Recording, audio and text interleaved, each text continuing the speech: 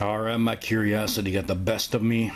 I was going to save these till the next time I go over there, see if they have any more of these rockets at the KG Fireworks, but I don't know when I'm going to get there. Thinking about next week, but I don't know. So, but my curiosity, again, I got to look inside. I want to see what's inside the head.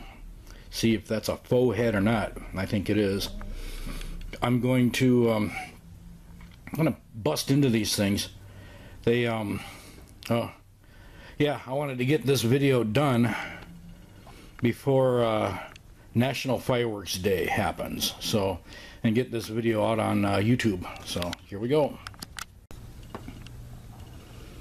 Alright, everything below that head looks to be about the size of the Texas Pop Rockets, the TPRs that uh, that windmill does. But uh, and in, every respect, these pretty much sound like it when they're going off. They have that same that same howl. I don't really call want to call them a whistle, but you can.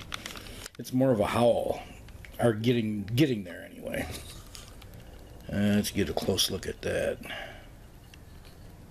Uh, there's nothing more on there. All right, let's go inside.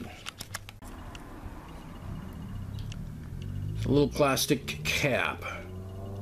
No, you don't need that at all. It's just pretty. But yeah, this looks like a windmill Texas pop rocket.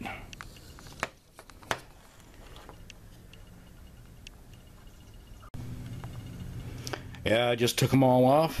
They're just, uh, oh, they're not even glued on. They're pressure fitted. That's it. So my point is, is if you see these rockets or the windmill TPRs, either one of them, whatever whatever one you can get your hands on, get them because they're good. They are. The windmills are the best Texas pop rockets I've ran across so far, and uh, and these seem to be the um, illegitimate son. I don't know what you call them, but anyway, no, they're cool. They're just as cool. These are badass. Happy National Fireworks Day, y'all pyros.